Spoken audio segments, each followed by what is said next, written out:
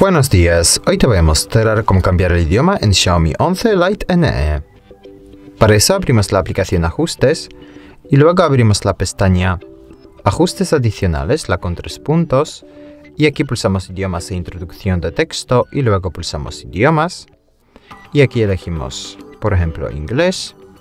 Esperamos un poquito y esta como ves el idioma del sistema ya está cambiado.